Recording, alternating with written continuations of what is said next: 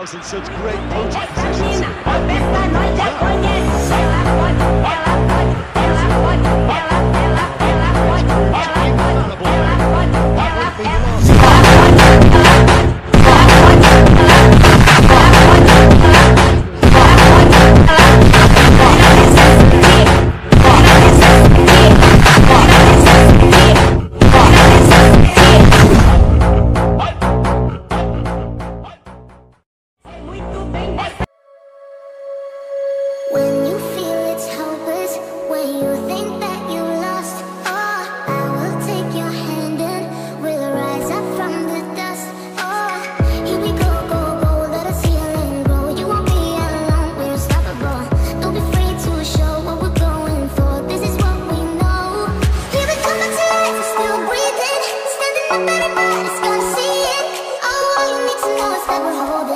even if we fall,